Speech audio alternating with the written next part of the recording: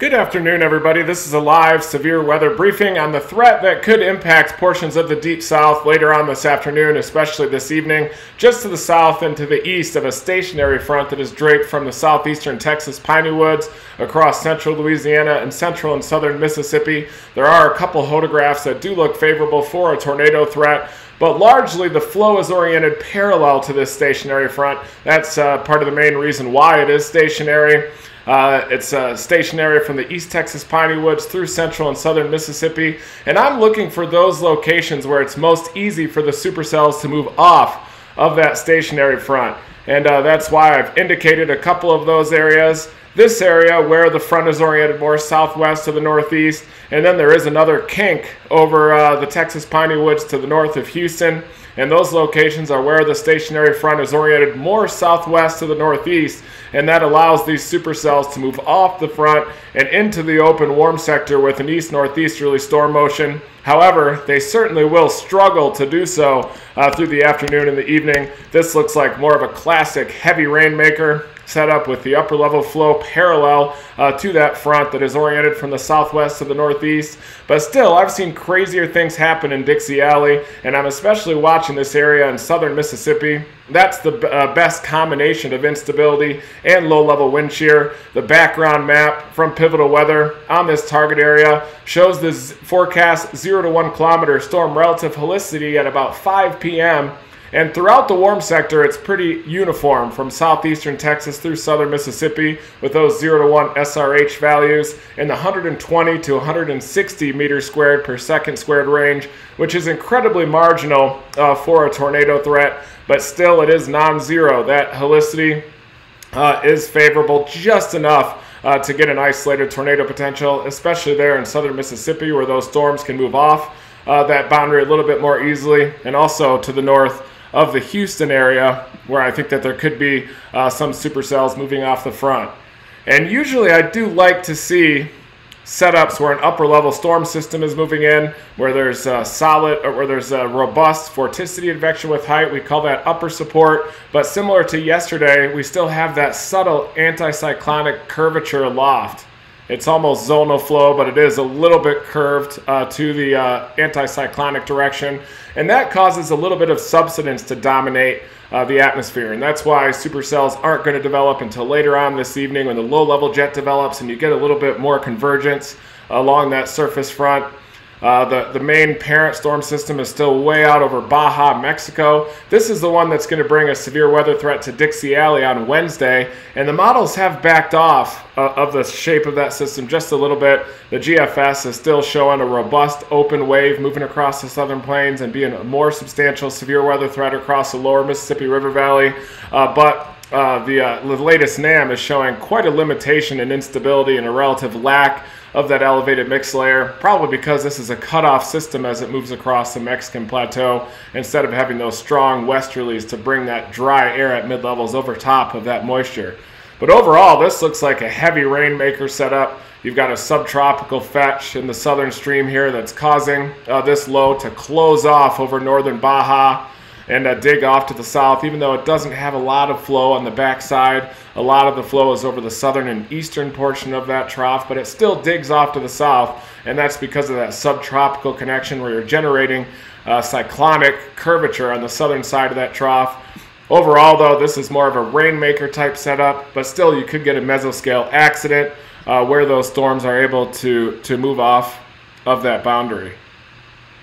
Looking at 850 millibars, across uh, the warm sector, you have southwesterly flow that's generally 30 knots, uh, maybe a couple of barbs there at 35 knots, and that is uh, leading to marginal low level wind shear uh, to the south of that boundary. But it looks like there is a little bit of an increased pop here over southeastern Texas. That is uh, near the kink with that surface front uh, to the north of Houston. that's coincident with that. You even have a little bit of a weaker low level jet across the eastern target area of southern Mississippi, uh, at least uh, at this time, which is late afternoon. as you get closer to evening, this low level jet here is going to intensify as well. Uh, but look at this uh, maximum in the low level jet back associated with that kink. There's probably a little bit of a pseudo uh, low level cyclone in that area. It, it coincides with that kink. You have the front that's a little bit more southwest to northeast to the west of the kink. To the east of the kink, you've got almost a pseudo warm front or more of a stationary front and anywhere near that kink with an east-northeasterly storm motion, it is possible for a supercell to move off that boundary and into that robust low-level jet of about 40 knots there across the Texas piney woods. I do think that central Louisiana is kind of in between those two target areas with more of a west to east oriented front. I think that storms are going to have uh, particular difficulty moving off that boundary further east. This is the uh, 0 to 1 kilometer energy helicity index, which is a composite index between the 0 to 1 kilometer storm relative helicity that we've already analyzed and the surface-based CAPE throughout the, uh, the deep layer.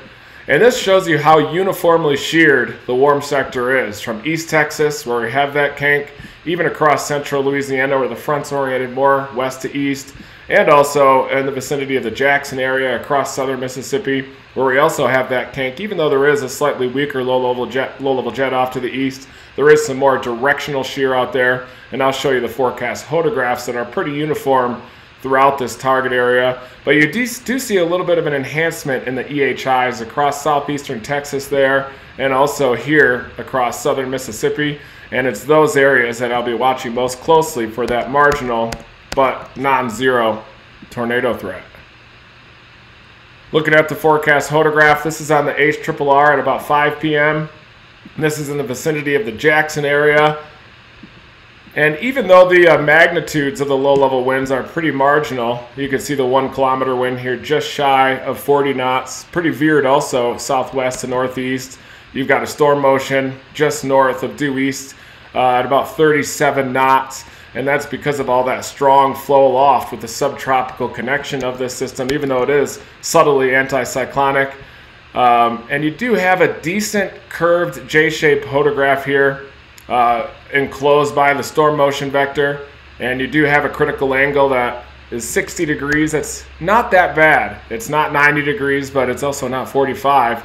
And so that's leading to some decent area in here and that's uh, proportional to the 0 to 1 kilometer storm relative helicity, which is going to be on the order of about 150 meters squared per second squared there across southern Mississippi, all the way back to the Texas piney woods to the north of Houston. And you've even got a weird cyclonically curved deal at the mid levels there, which is probably going to be irrelevant uh, to, the, to the whole entire setup. But this is not a bad hodograph with that, the storm motion vector for the right mover, a little bit north of east.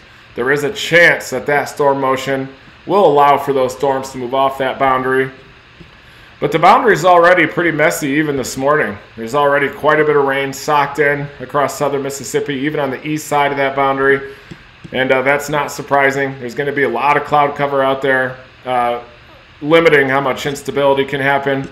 You don't need a ton of instability in Dixie Alley. You've even got a little bit of a renegade developing there to the northwest of Laurel. That's probably not going to do anything. This severe weather threat is more for closer to sunset. Uh, there's uh, with this anticyclonic curvature aloft, really the only precipitation is happening to the north of that stationary front, where you get what's called isentropic lift.